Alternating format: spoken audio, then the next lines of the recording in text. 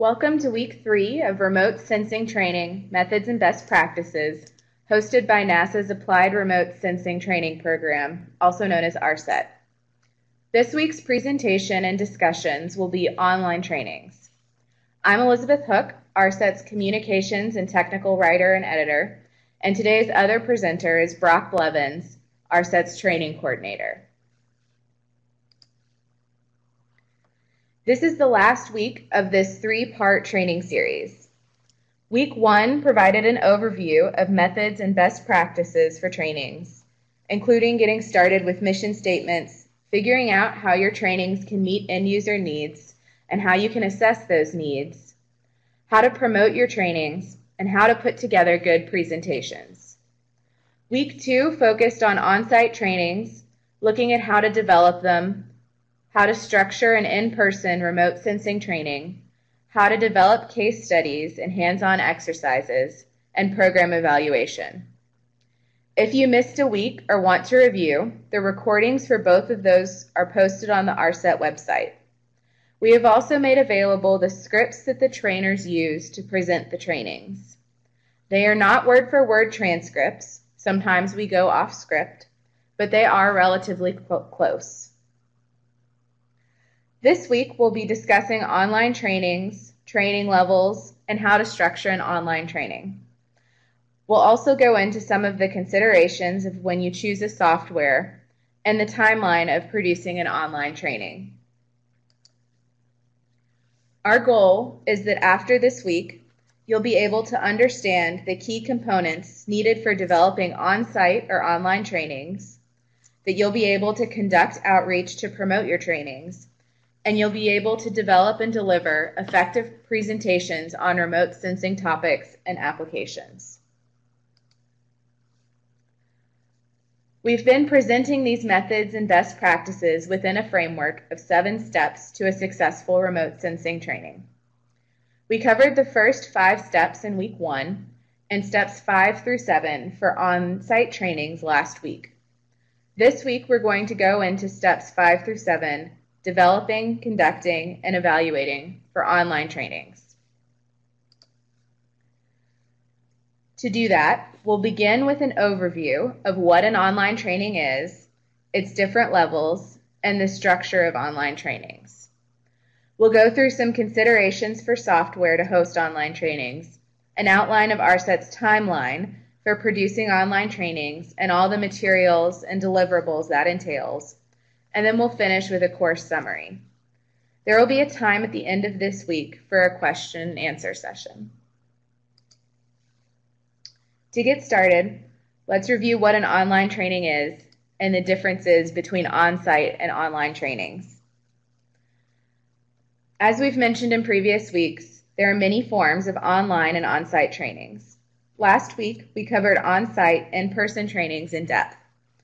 ARSET has the most experience with the type of on-site trainings held in a computer laboratory over two to seven consecutive days. In these trainings, information is presented using a mixture of lectures and hands-on activities. ARSET also offers online trainings just like the one you're taking right now. We typically offer live versions over the internet with the recordings available later for on-demand viewing. Our online webinars are usually offered in series, with each session held once a week for three to five weeks. Each session is typically 60 to 90 minutes and includes some combination of presentations, demonstrations, interactive session, sections, exercises, and homework. When you're deciding between online and on-site trainings, there are several things to consider.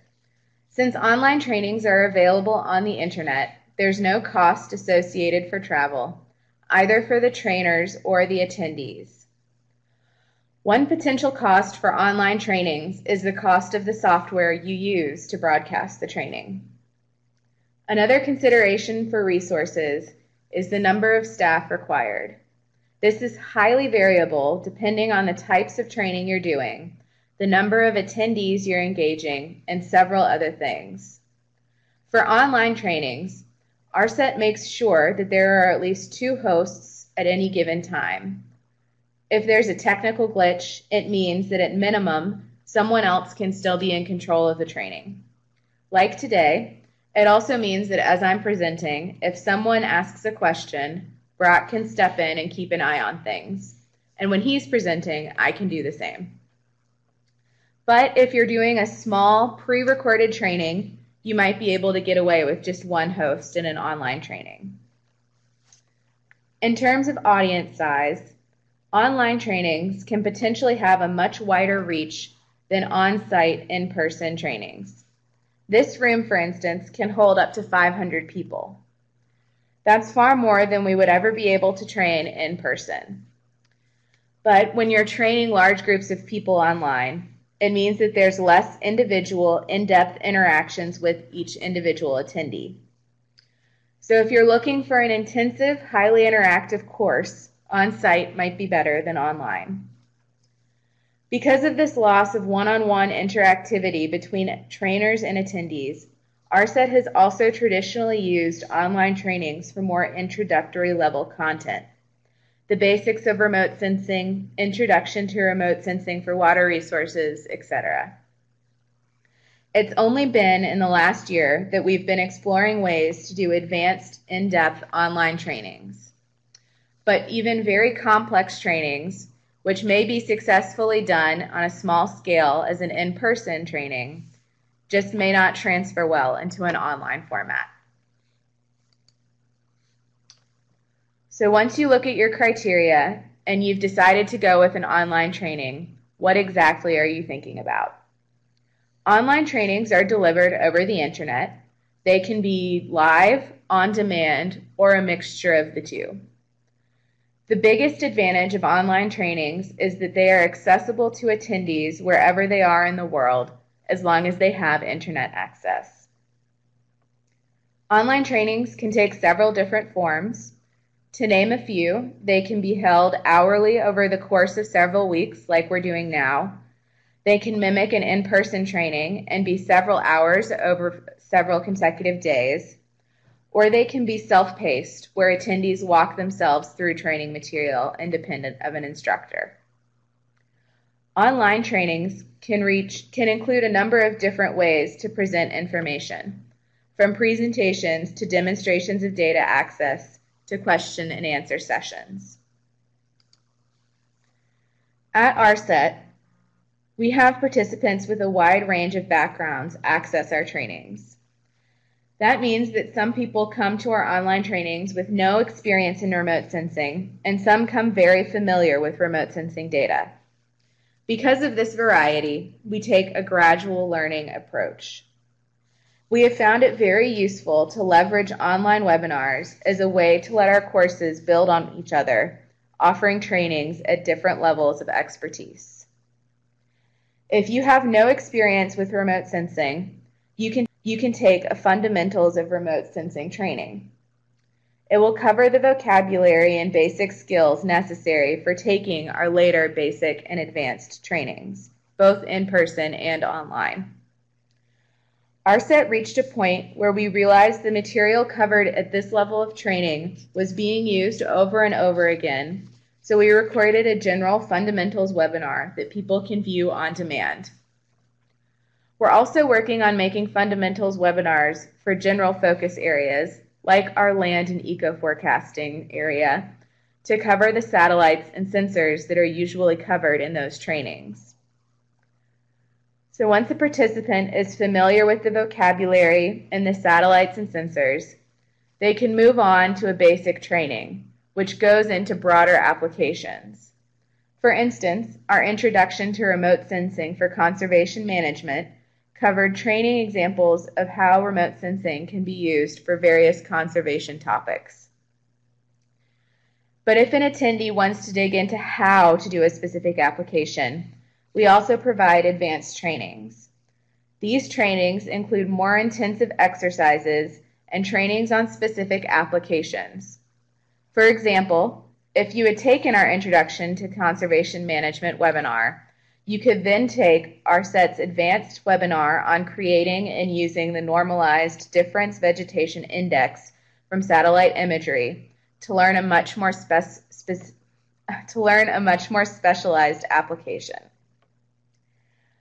Now that you have the general overview of online trainings and the ways ARSET lets our trainings build on each other, Brock is going to take over and talk more about the details of structuring an online training. Thank you, Elizabeth. In these following sections, we will walk through the details of online trainings, their methods of delivery, and timelines that we at ARSET have found to ensure a successful training experience. After each topic, we'll once again open up the forums, and I look forward to hearing from you and how your programs address these topics.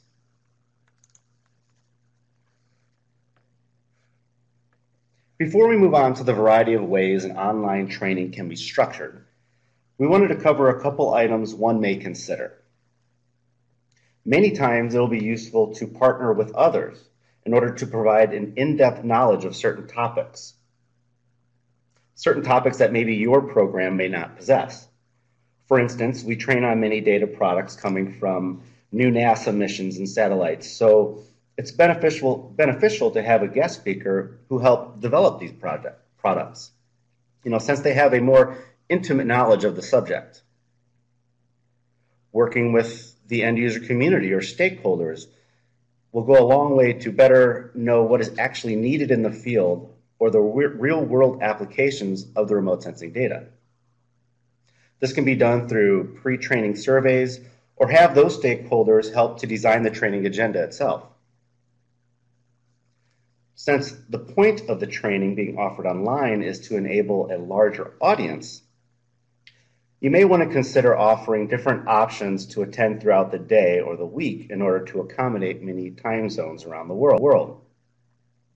We try to offer two identical sessions for our online trainings on the day of the training to address this. You may have noticed when you registered, you had the option of session A or B, held several hours apart, so hopefully you could find a session that best, best fits into your schedule. Providing transcripts or offering materials in more than one language will be another method to be more inclusive with your audience. Also, how many trainers will be needed?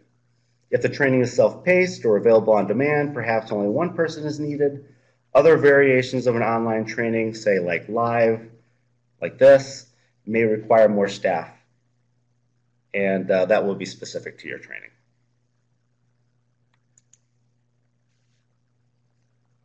So you may have noticed that there are many variations of online trainings nowadays. We generally break these types down into by three key elements.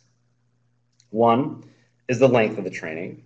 Some can be as short as 15 minutes to briefly introduce a topic or to cover a very specific procedure.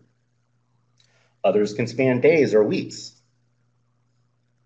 This webinar series, for example, is about three to four hours total, but spread out over three weeks in a series. Another key element is the timing of your training. So you can present the training materials in real time, live to your participants. Uh, others can be offered on demand, preset or pre-recorded training. And a final distinguishing characteristic will be how that content will be shared. The online training ARSET typically conducts would fall into this first category here, sharing slides or demonstrations with an audio presentation, uh, which can be live or on demand. Many online trainings of the self-paced variety or the on-demand type. Uh, these, are, these are very common in an asynchronous type fashion. Uh, these are usually provided through a learning management system such as Storyline. And they're called asynchronous because all the participants have the freedom to log in on their own time to complete the training materials. And they don't, don't all have to be at the same time as with a live training.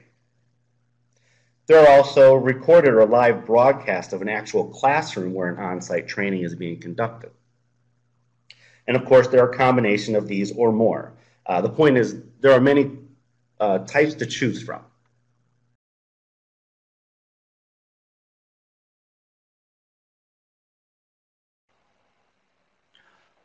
Okay, that, that brings us to our first forum period. Uh, so we'd like to hear from you on the subject of the types of online trainings that your program conducts. We've opened up a, a chat room here, our chat pod, so please feel free to, to share with the group on the topic of what format of online trainings do you present?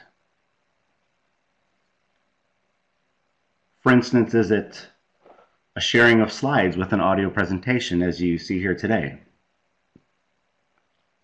You present in an on-demand or self-paced online module using a, a learning management system?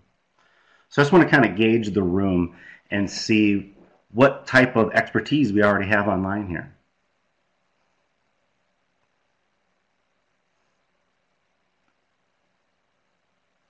I see a couple answers on self-paced.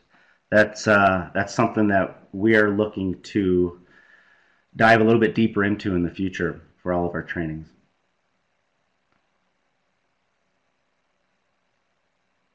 Do you perhaps broadcast a, a classroom and then make that recording available online for an on-site training that you may have done?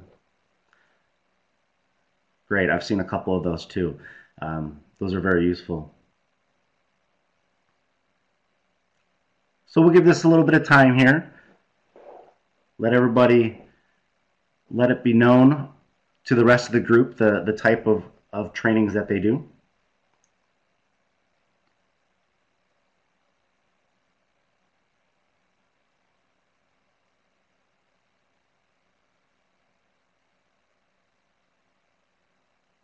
Do you do you prevent a, a, a do you present the training live where the participants have a chance to interact with each other, with the with either each other or the trainers.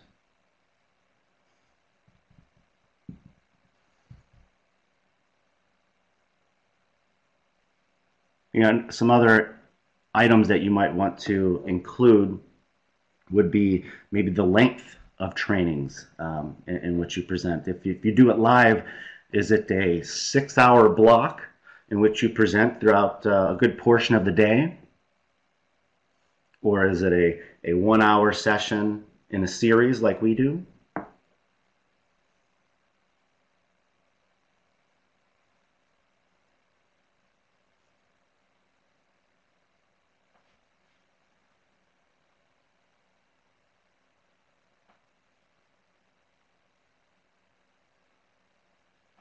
So we'll give this another minute. Please uh, thank you very much for your for your answers.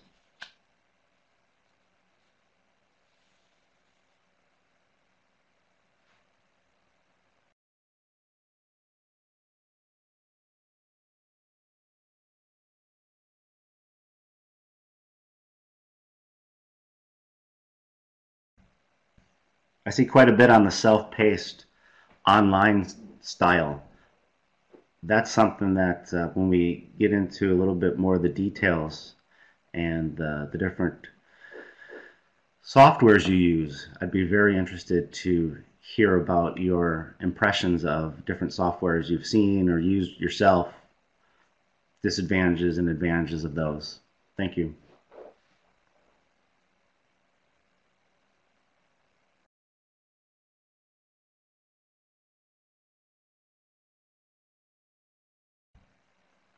And if you don't currently conduct online trainings, uh, possibly and hopefully, this session will give you some great background information in order to start to implement those. You'll hear of different softwares people are using, different types and different modes, um, and then maybe you can implement them into your own program.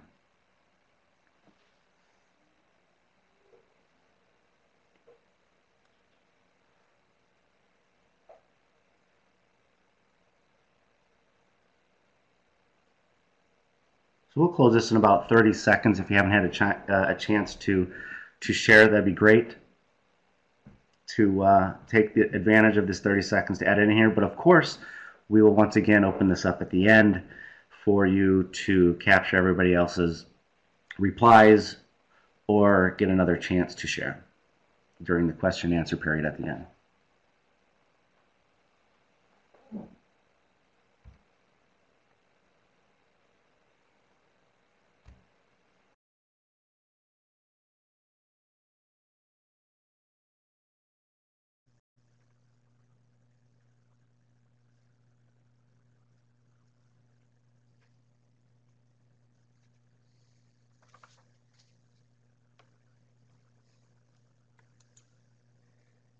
This slide shows what we at ARSET have traditionally done as far as structuring our online trainings. And here's a sample agenda that illustrates that structure. As Elizabeth mentioned, our online trainings or webinars are offered in a series of 60 to 90 minute long sessions presented live for three to five consecutive weeks. We always include the last 15 minutes or more of each webinar session, uh, and we dedicate this to a, a question and answer period. Many of our webinars have sessions at different time of the day to accommodate various time zones and to help augment overall participation. In general, the first week we introduced the training, the topic, and the many applications of the remote sensing data products. In the following weeks, we go deeper into the details of the different data types, the data access options or tools, or methods relating to the larger webinar topic in each week. For example, for those who attended the Water Resources or Advanced NDI, NDVI webinar series, these agendas may look pretty familiar to you. After we introduce the satellite missions and models related to the training in week one, the following weekly sessions address subtopics within that topic, such as with the Water Resources series. As you see here, each week covered different elements of the water cycle, uh, its data and access, and in the final week of the series, we demonstrate methods to bring them all together and estimate a regional water budget. We did this as well with an advanced webinar series that Elizabeth mentioned earlier, the, uh, the training Creating and Using Normalized Difference Vegetation Index, NDVI, from satellite imagery. After giving an overview of NDVI and an introduction to GIS, the following weeks built off that knowledge. It showed the acquisition of Landsat imagery and deriving NDVI through a GIS. Also doing the same thing with MODIS NDVI and how to create a time series. And finally, how to create a MODIS NDVI anomaly map. Each week with its own focus under the broader topic of NDVI. An online training content is similar to that of an in-person or on-site training. It can be composed of a mixture of lectures, demonstrations. Online trainings can include homework and exercises. If interactive, they can also include time for question and answer periods. And just as with face-to-face trainings, it will be used to have, useful to have some method to evaluate the trainings or training experience. For each component, we'll cover some tips we have found to be useful. And when we open up the forum, we'll ask those online to share your thoughts on each one of these components or any ones that uh, you have uh, insight to. So please keep that in mind as we go through these.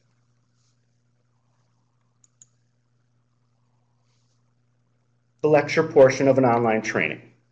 Since this is an online training, since the online training has a potential to be global, it'll be good to keep your audience in mind when putting together and delivering your lectures. This means speaking slower and enunciating your words. Try to use language that's neutral and devoid of idioms so you're not using phrases or words that are only used in certain regions. Don't use offensive phrases or words. Also, try to define acronyms and technical jargon. This is important since they might not have the opportunity to ask you questions during the lecture period. Since a lecture or presentation can at times be lengthy, or especially since this is being presented online, your, often, your, your audience may be sitting in front of their computer. It's easy to get distracted with emails or other work. Um, so it's, it's important to find ways to keep the participant engaged. After certain topics, give a quiz or a poll to be sure they are following along and comprehending what you just covered. Also, you know, allow time for participants to interact with each other in a forum. This can break up any monotony that can exist, can exist in a long lecture. And it's a good strategy to try to work in case studies into your lecture. Uh, I think the audience naturally relates to case studies, and this provides some context on how to apply the data, the tool, the methods, or whatever they happen to be interested in in their region.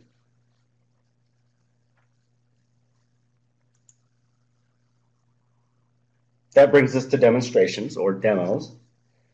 The purpose of demonstrations is to show the sequence of actions or the click-by-click steps designed to show participants how to navigate these web tools and portals.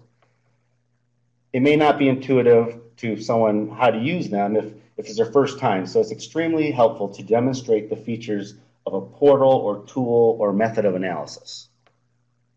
We like to show the, the many different options that can be enabled within a web tool or different visualization techniques. Data portal navigation for data access are some of the most instructive demonstrations we give, and they can include how to download or showing the different data format options. And if you want to go a step further, how to import into a GIS. More advanced demonstrations can show the analysis and the application of that data, uh, maybe a step-by-step -step instruction on, for, for offline exercises, or examples of running code to perform an analysis on that data. We walk participants through guided exercises of online tools or portals we have demonstrated so they can navigate and process the data themselves. This is more about getting the participants to do it themselves rather than just understanding the lecture. These demonstrations can be a live screen share of a site or it can be pre-recorded. And one tip I would like to add here is even if you do perform a live demo of a tool, uh, it'll be useful to have a recording made ahead of time. That way, if all the participants go on your online tool or portal as you're going live, this it, it might slow down that site. Um, so this way you'll have a means to present without the, the demonstration itself being affected. Homework and assignments are a good way to evaluate the participants' comprehension of training material and also to reinforce the training content. Instructors must strike a balance between adequately testing knowledge and the ease of evaluating the assignments. And effective assignments include a mixture of multiple choice and short answer questions. Multiple choice or true or false questions are the easiest to grade, but they also limit the ability of the trainer to test the depth of understanding. Short answer questions require a bit more time to check for accuracy since you may have to read each response, but they do provide better insight into the participant's comprehension. You may want to consider a way to incentivize assignment completion. To that end, ARSET requires participants to submit their homework in order to receive a certificate of completion for the training. Then there is the method in which you collect the homework. We use Google Forms, and this is because it's administered online, um, but it also helps the trainers to easily track completion. Also in Google Forms, you have a way to indicate the correct answers on multiple choice or true or false questions so once the participant submits their homework, they can easily check their score.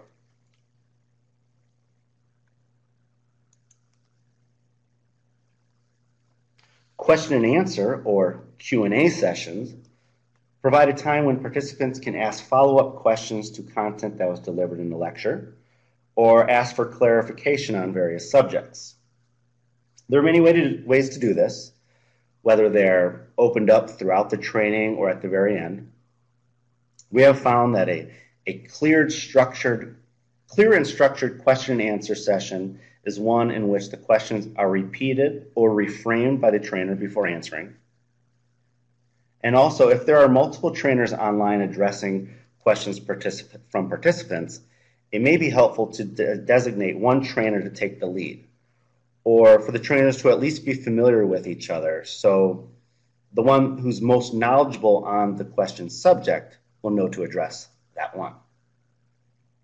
These sessions also provide an opportunity for those participants online to network among themselves. For instance, the first text that I put in a Q&A session reads, please feel free to type your questions here. You can also type your name, location, organization, and email address to connect with your fellow remote sensing practitioners. And many participants do so to connect with others of similar interest or focus. And finally, this is a prime opportunity for trainers to ask their participants questions, and this can also serve as an additional end user needs assessment. These can be ad hoc questions on the subjects presented that week, or you can ask participants for feedback on their experiences with certain portals or tools if they've used them before, such as how user friendly have you found Giovanni, the Giovanni data portal? Or what services would you like be made available to make data, to make data access and usage easier? You can also be, begin discussions with the audience on future topics they would like to see in a training and to get a better idea of how they wish to apply the remote sensing data.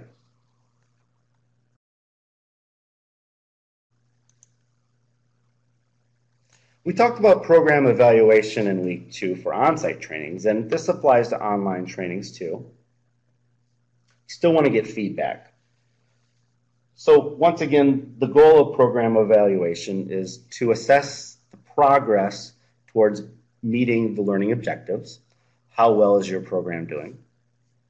To assess the impact of the training, are participants making use of what they learn in their jobs or academic study and how? and altogether to provide an ongoing means of improving your program. And here are the various tools in which we which one can conduct evaluations from surveys to interviews or focus groups.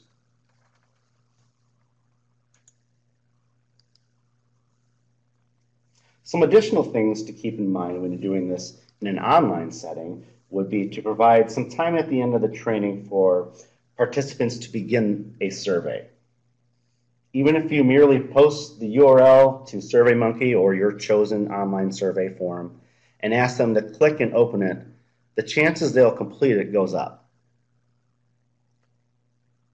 You all may have your own ways to send reminders to fill out the survey, but we at ARSET send them one week after the training is completed, and then again a week after that.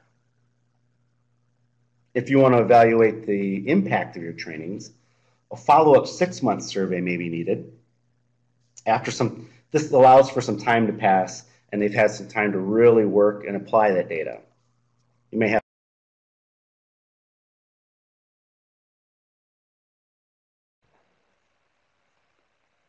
Okay, great. Um, so I just want to open up another forum here. Let me minimize the slide here and get this chat box opened up.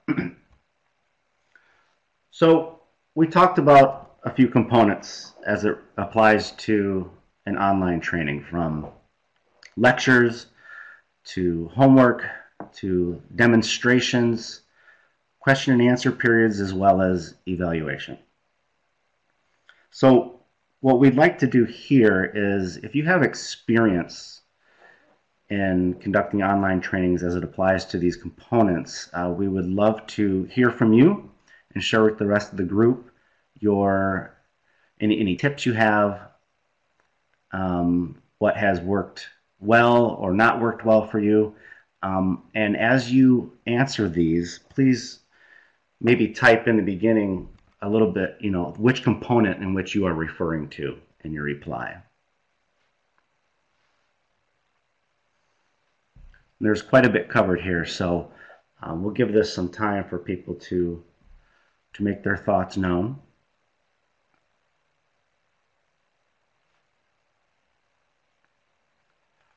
For instance, in your if you provide demonstrations in your trainings, whether it's on demand or in a live setting, uh, what what are some of the techniques that you've used to uh, to do so?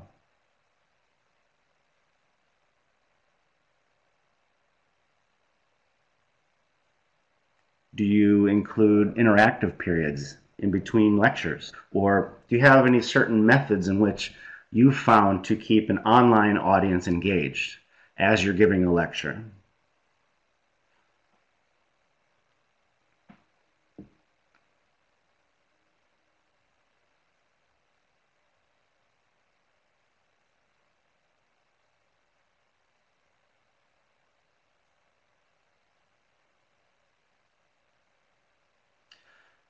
Do you provide homework?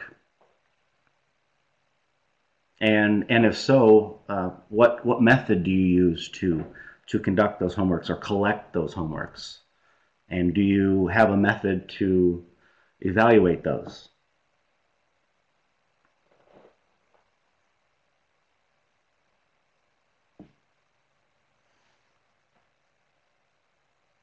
I see here about um, how homeworks may not have worked out so well in an online training. If you have a an idea of why that might not have worked for you in that particular training, I would like to hear uh, about that as well. I'm sure others online as well. Thank you.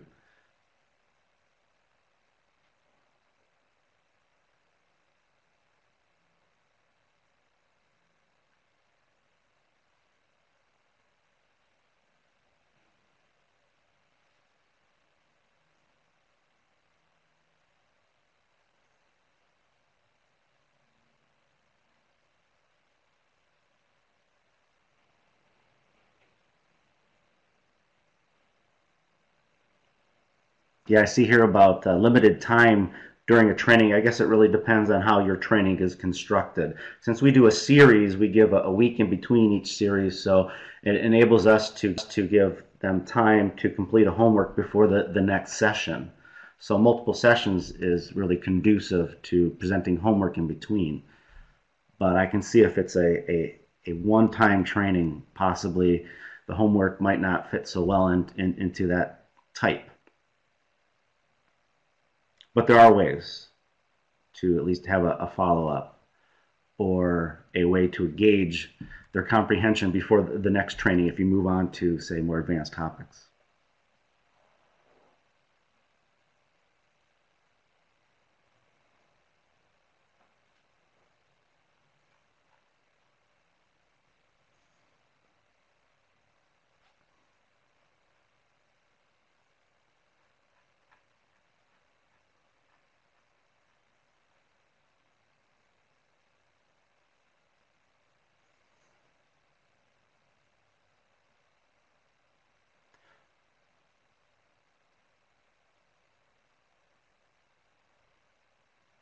Do you provide time for um, a little bit of end user needs assessments or evaluation of certain portals or tools in which in which you presented? Do you do you have a way of getting almost sometimes immediate feedback after you've presented an exercise or a demonstration? Say you walk through an exercise step by step with with with your participants. Do you have a way of of gauging their immediate um, um, impression of the usability of that tool.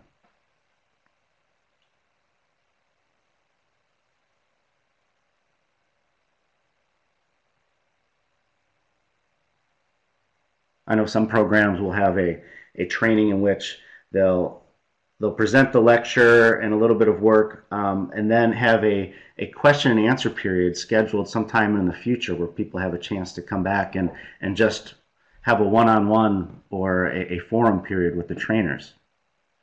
That's something we've done in the past as well for our air quality trainings.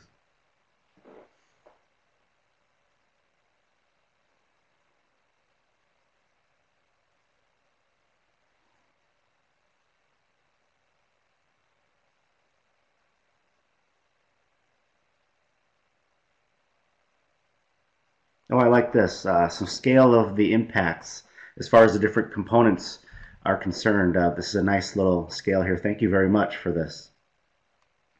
On a scale of 1 to 5, finding lectures um, providing a little bit lower, but as you get into the question and answer periods or the demonstrations, it becomes a little bit uh, more effective as impact. Thank you.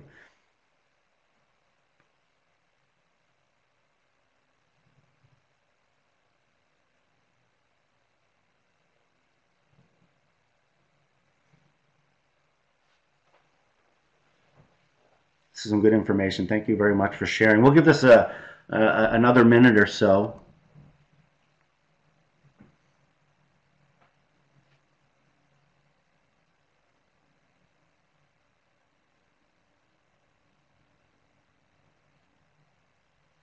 Are there certain online methods in which you um, present your homework? As I mentioned, we use Google Forms. Are there any other online ways that, that you've found useful?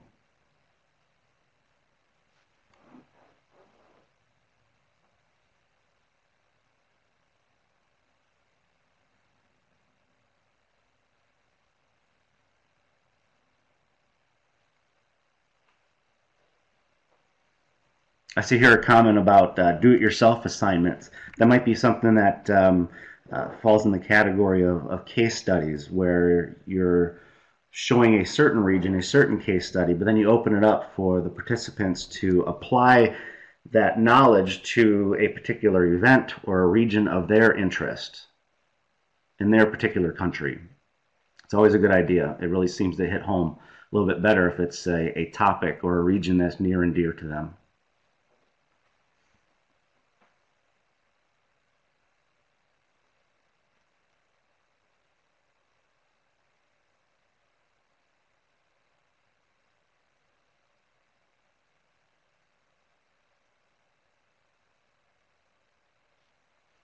Okay, so we'll give this another 30 seconds and then we'll move on to the next subject. And of course, we'll open this up at the end again too for you to capture the responses. Thank you everybody for chiming in.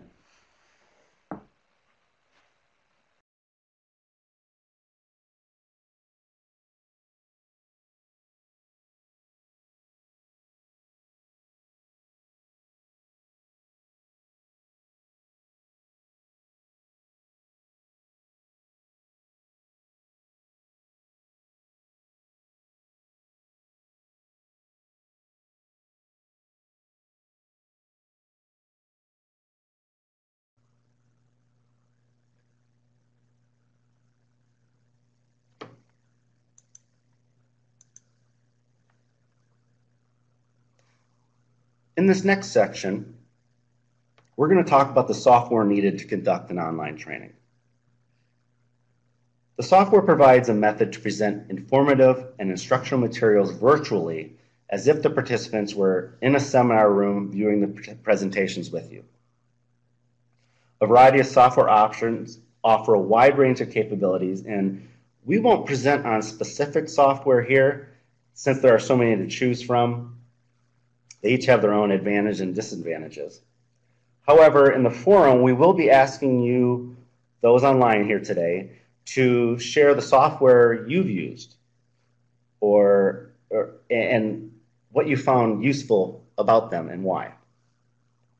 But here we just wanted to speak on the different features they can provide. So here comes some considerations when using software to present your online trainings. We have found that the ones to be most useful are the ones that provide the ability to broadcast the presenter's slides, audio, and or video. It will provide sufficient capacity in each seminar room or the number of participants that are allowed to log in at any one time.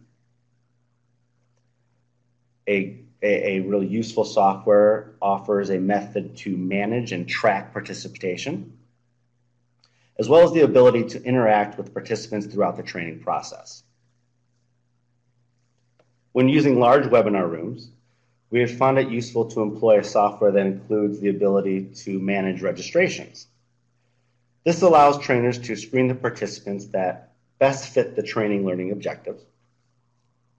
The registration information can also be used to adapt the training content to best meet the, meet the needs of the participants and inform the development of future trainings. The ability to manage the webinar sessions with a means to send reminders for the training as it approaches is useful. An email client can do this as well, but we find it's nice to have it all in one place within the same software. We find it useful that to have software that features ways to keep participants engaged and to enable interactions. These can include chat boxes so, so participants can interact with each other, as well as with the trainers. We can provide polls or quizzes that the trainers can send out instantly to participants during the webinar session. A landline option is a good feature, or a telecon option is a good feature if you want to provide audible interaction among the participants and trainers. The ability to automatically, automatically mute microphones is an important feature. Background noise and feedback noise is sometimes unavoidable, and you'll want to have that type of control. Additionally, the ability to record the training is a good feature. Participants' quality of internet connections can vary greatly, and for some participants, poor internet quality will lead to technical difficulties. Instead of watching the live webinars, participants experiencing technical dif difficulties can opt for viewing the recorded webinars on demand.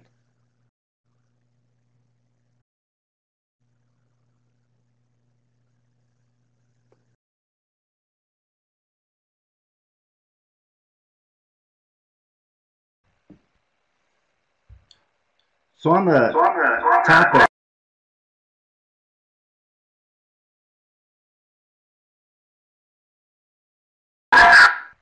So on the topic of, of software, I'm, I'm curious what's being used out there by those online. So I'm gonna, we have a little poll here actually, if you want to join in. If your program conducts online trainings, are they presented live or on demand, or both?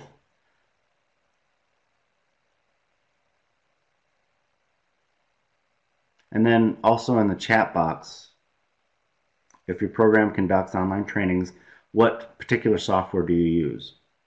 And please indicate along with that if you're using this for live webinars, webinars or an on-demand learning management system.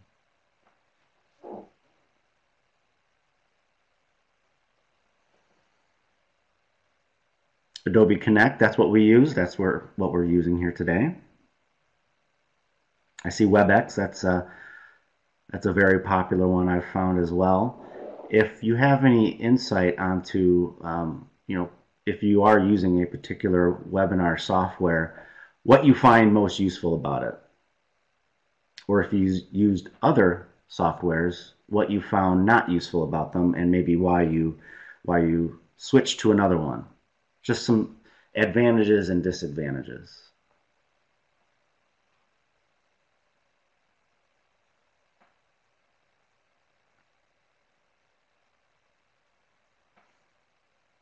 It seems here from the polling that the on-demand seem pretty popular, but also there's some programs, quite a few, that conduct both. And the live seems to be less of a, a method that, that the group here uses. We've noticed that we do that, and there's not a lot of other programs that that do it as much. So the on-demand, I, I with all the advantages and disadvantages of being able to do an asynchronous type asynchronous type training, um, that that is why we're we're looking into to employing that as well.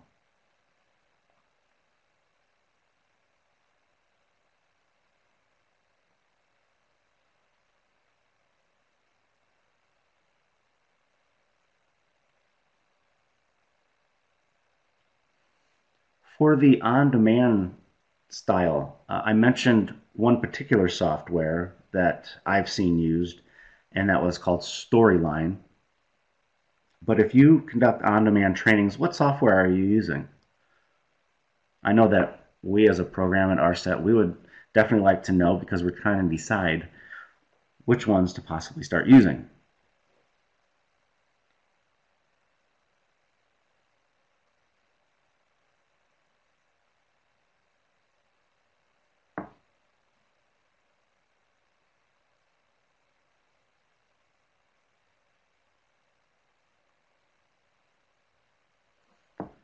see a question here about open source software. Is anybody using an open source software that you would suggest to the group that you've had success with?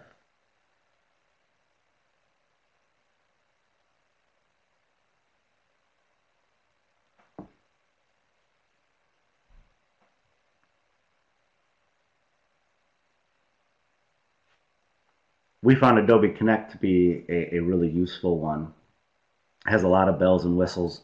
It allows you to um, manage registrations, send out email alerts, get full reports on who's logging in and, and, and when.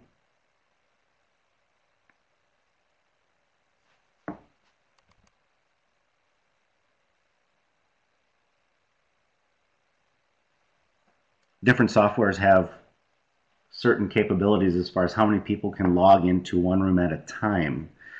I saw here, this is more for the, the live style of delivery, but this uh, AView India, I'm, I'm curious, is, is that an open source or proprietary software? And if so, is there a limit restriction to the number of people who can log in at once?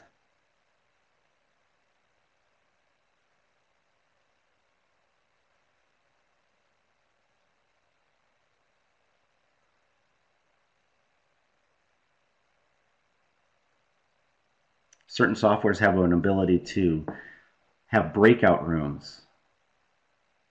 Has anybody had any success with certain software where you're allowed to do that, where at the end of a training or even throughout, I guess it depends on how you have it structured, but it allows participants to kind of connect offline and share ideas, or if they're working on a project together online, it provides a space for that. Has anybody had a chance to use anything like that um, I'm sure the rest of the group would be keen to hear that.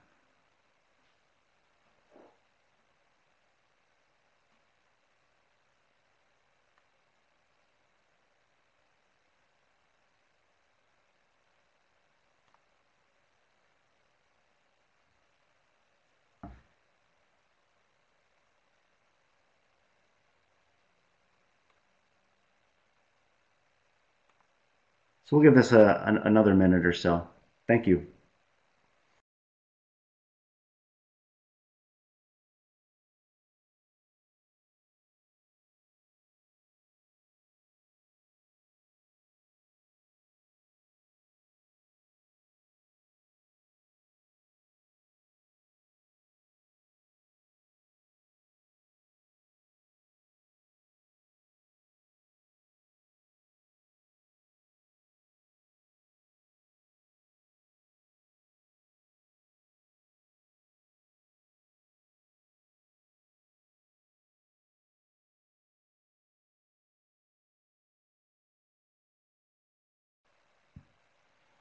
Thank you for posting this about an open source software.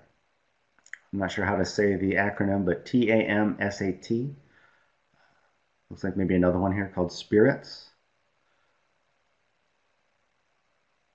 When we open this up at the end, I, would be interested to hear a little bit more about that. So if you have a chance to share some more at the end, um, that'd be great. Thank you. Uh, maybe some things that you found very useful about this software, some of the things that it offers and some things that it doesn't.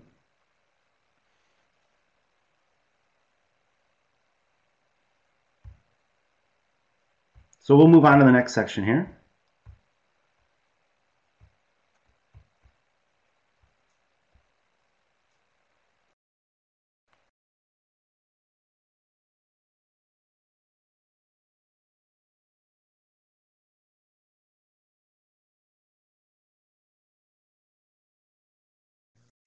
In this following section, we'll talk about the timelines and the deliverables. This will be similar to the timelines for an on-site in-person training with some slight alterations. Certainly, given that many difference, differences can exist from one program to another, these timelines can be adjusted. But in the next few slides, you'll see what we at ARSET have found to work in order to ensure a smooth process, on-time delivery of training materials, and addresses the nuances associated with presenting an online training.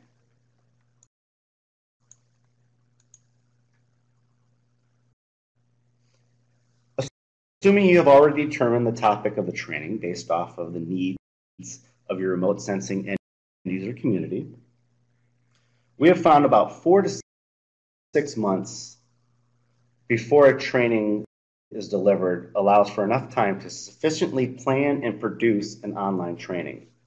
And this begins with a preliminary agenda. This four to six month time frame also allows time to gather interest from potential participants. Sending invitations and, and, and the pre presentation guidelines to any guest presenters should begin early to clearly communicate the expected timeline of the materials being delivered, such as their presentation slides. Together, you, you can determine if there are certain regionally specific case studies you plan to present as well. But by three months, it'll be beneficial to have the agenda finalized. Because you're going to want to promote this through your listserv, through emails, or social media in the months leading up to the training. And you will want to clearly communicate the objectives of the training. Try to be explicit in the training's learning, projective, uh, learning objectives, and having a finalized agenda helps you do that. Two months out gives you time to set up your virtual space in which you'll be delivering your online training. This, of course, will depend on the software that you're, you're using. But if you plan to handle registration through that software, then a completed web space will be needed. A training web page to point potential participants to is also good practice. And this will communicate the learning objectives. Um, you can include the details on how to register on the web page, when to attend, and any prerequisites you might have. This can also serve as a location for the agenda and the training materials you post prior to or throughout the training. For instance, did, you know that this training has a web space and a web page? We'll post that URL in the chat in case you have not accessed that yet. One month prior, we find this is the time to get all the training materials completed. There tends to be a lot going on during the last few weeks before a training, and if you give live webinars as we do, if you wait longer to complete the PowerPoint slides, the exercises, and the homeworks, it can easily become overwhelming. One month gives you time to edit sufficiently, translate if you plan to do so, and update any surveys, surveys that you give with the specifics of that training.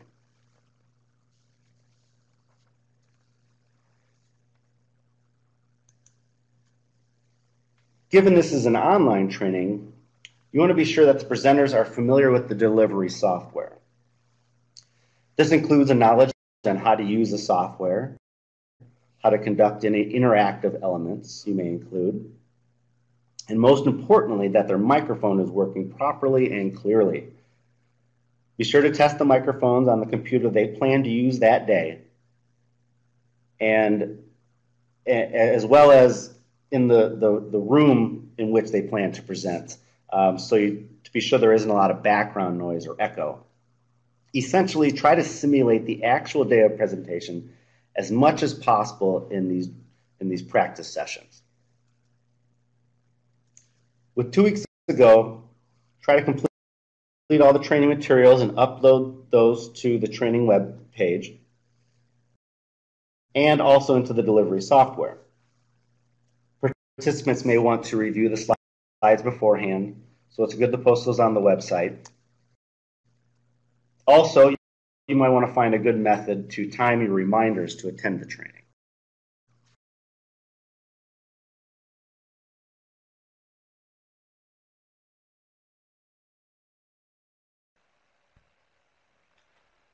So that brings us to our summary of the week. There was uh, quite a bit to unpack in that one, and we will open this up for question and answer on all these topics. Um, but just as a reminder of what we went through here today, in this final week, we talked about the specifics to conducting an online training from the many different formats and structure to the attributes of the software used to, to deliver the trainings and a timeline we at ARSET have found useful.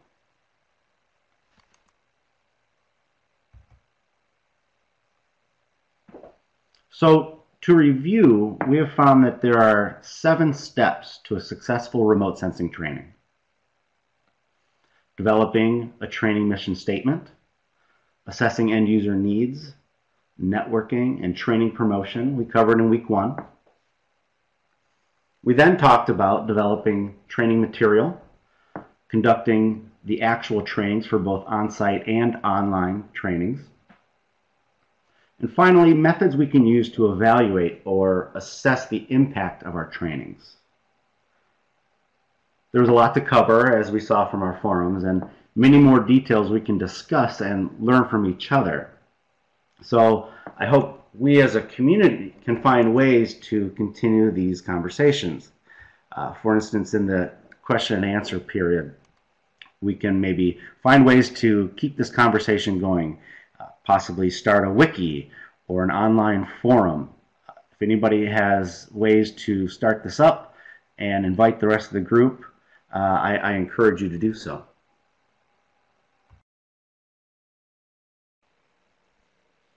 And as I mentioned earlier, at the end of every training, I this is what I typically write.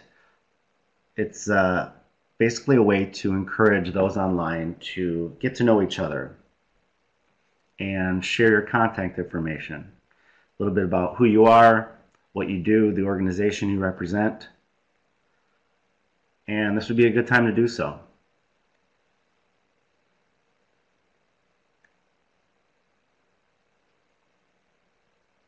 But also in this question and answer period, if there are questions throughout this entire webinar series that you would like us to clarify or expand upon, uh, please feel free to ask. We're, we're here online to answer your questions. There's a lot of topics. I see some people change, uh, setting up some some uh, contact information. This is great.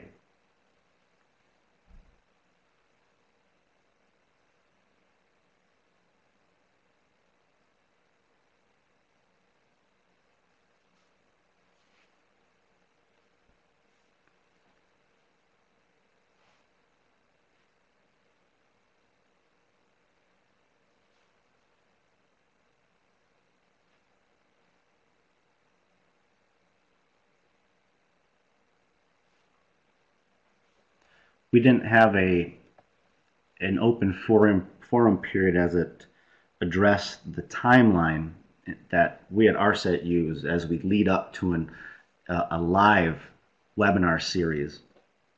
So if you have any questions about that, or uh, I'd like to hear from you, um, some additional items you might add to your timeline that you find that we did not address that are very important to making sure that everything stays on schedule and all the deliverables are met leading up to a training. So if there's other little tips that you include, please share with us and why, why they happen to be useful for you.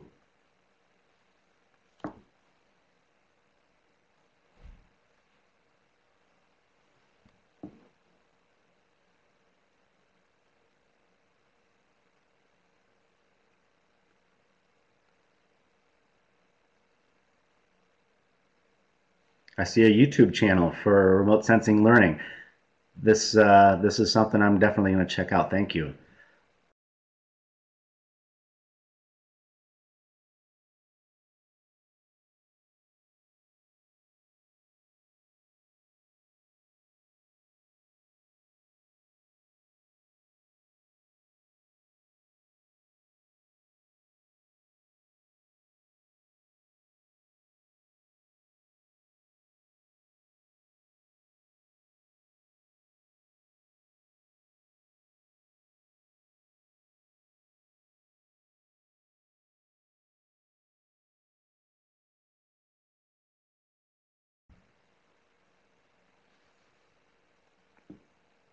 I posted the survey link here as well in case you get a chance to click on it before. And as I mentioned earlier, we send a reminder next week and then a final one the week after that. That's the method in which we use. Do you have a way of sending reminders for surveys if you do evaluations for your trainings? And what's the timeline in which you send reminders? That's ours. You'll receive those from me. If you complete it here, that's great. If you want to take more time with uh, uh, your responses, feel free to do that as well.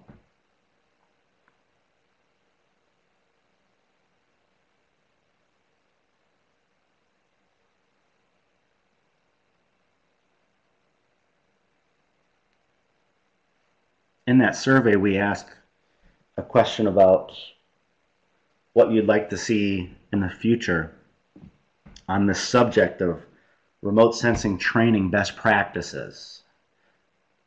You can answer, please answer in that, but if there's something that you would like to type, to type into the chat box here, uh, possibly we can talk a little bit about that now.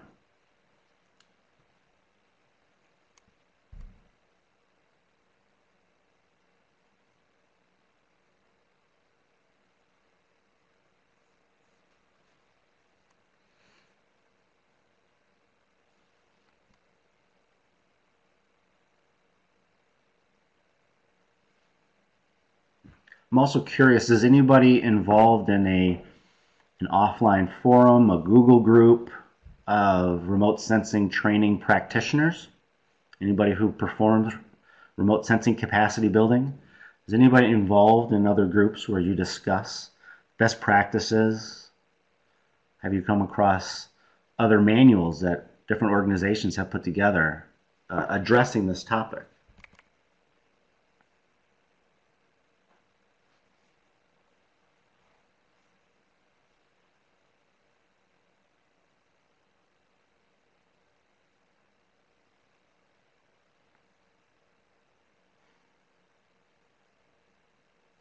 Of note, our our surveys are anonymous. So when I send the reminders out, if you've already taken them, sorry for reminding you again. Um, so if you've already taken it, please disregard the the reminder emails because they are anonymous.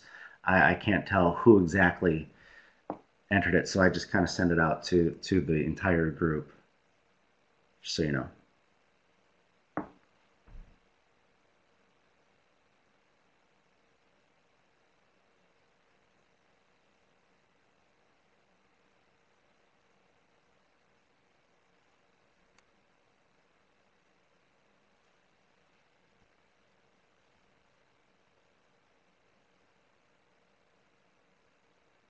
It's possible some on here are from universities and you train on remote sensing in an academic setting.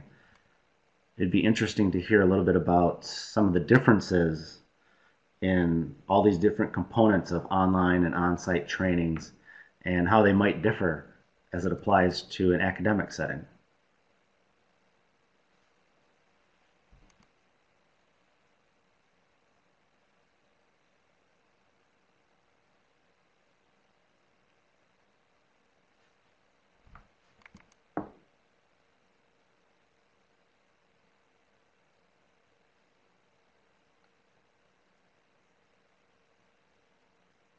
You know, I, I am curious. Is is is there a, an established group right now already of remote sensing uh, capacity building um, practitioners, say as um, a, a, union or just basically a group of trainers for future discourse? That would be great to to know about.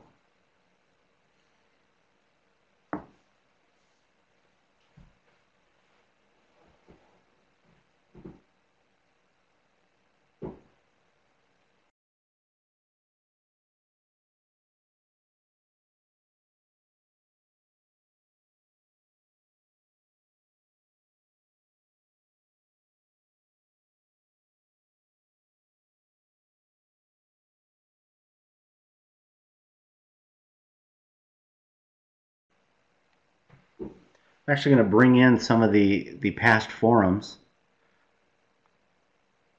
here.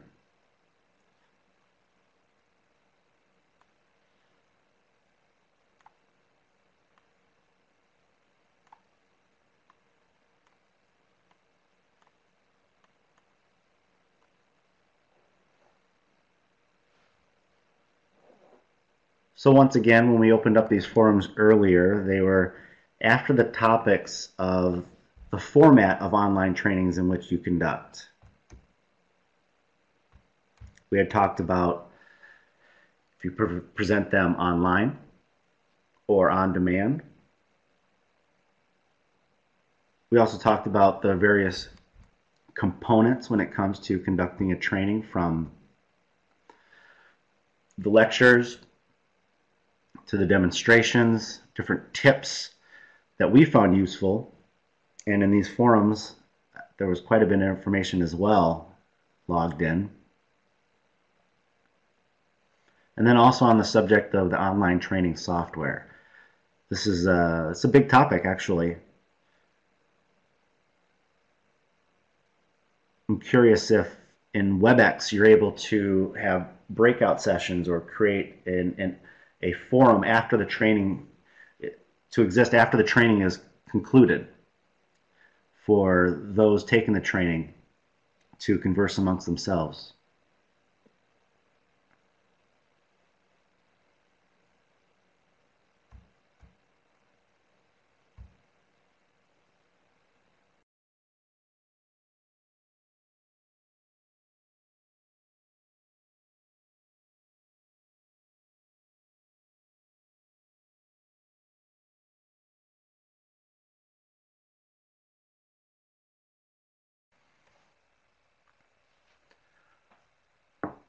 We at ARSET very much appreciate your participation in this webinar series.